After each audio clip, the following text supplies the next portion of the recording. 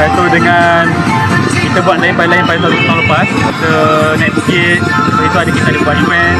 Lepas kita ada banyak shape point kat situ Dan setiap shape point pun ada acara yang berbeza Bagi saya ni adalah satu acara yang baik Dan patut teruskan oleh Selat Reader pada masa akan datang Bagi yang kecil-kecil tu, dia, mereka boleh try untuk MZ ni lah Sangat baik dan lebih selamat dan safety